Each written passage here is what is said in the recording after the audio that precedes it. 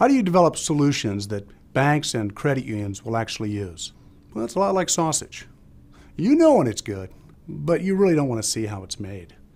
For us, actually, it starts by listening. And from there, we add a couple of elements over the years that we've learned make a lot of sense. We've got to be able to make it easy, complete, and affordable. As we begin to work together, you're going to hold us accountable on how we respond, how we support you, and is the software reliable in the solutions we provide? Are you getting the results you expect? After all, that's all that really matters. These are all things that you should expect from your partner.